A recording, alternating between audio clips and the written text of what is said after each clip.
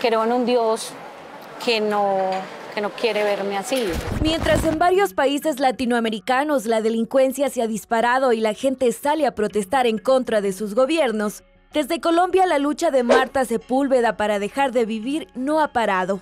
Aquí te cuento todos los detalles. Marta Sepúlveda, de 51 años, el pasado 10 de octubre iba a convertirse en la primera mujer de su país en recibir la eutanasia sin ser paciente terminal. Pero el Instituto Colombiano del Dolor, la clínica privada que la atendía, anunció la suspensión del procedimiento 36 horas antes de que ocurriera. El caso generó un amplio debate nacional sobre el derecho a optar por la muerte asistida. Incluso involucró a políticos y autoridades judiciales.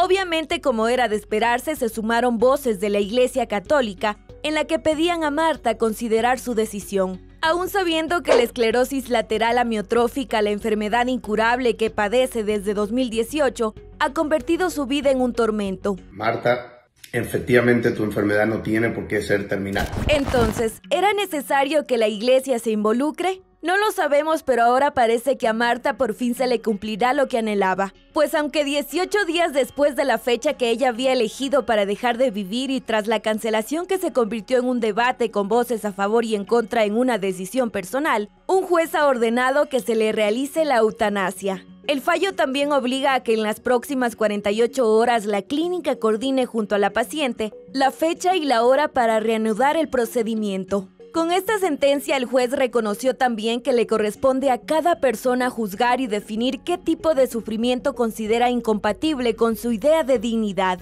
Y no son los médicos, la opinión pública, mucho menos la iglesia, los que determinan quién sufre más o menos. En Colombia la eutanasia fue despenalizada en 1997, pero se convirtió en ley en 2015 y desde entonces se han realizado 157 procedimientos. Según los lineamientos del Ministerio de Salud, el paciente debe tener una enfermedad en estado terminal, considerar que la vida ha dejado de ser digna producto de la enfermedad y manifestar el consentimiento de manera clara, informada, completa y precisa. Además, la ayuda para dejar de vivir debe prestarla a un profesional de la medicina, con la autorización de un comité científico interdisciplinario. Sin embargo, Colombia también cuenta con una figura llamada libertad de conciencia que les permite a los médicos no realizar el procedimiento si éste va en contra de sus creencias personales. Aquí es sí, pero no.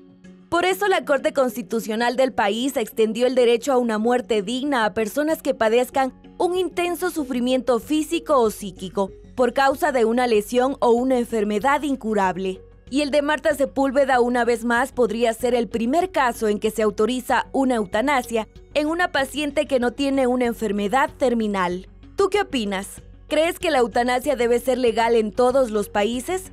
¿Estás a favor o en contra? Déjame saber tu opinión en los comentarios y no olvides compartir este video.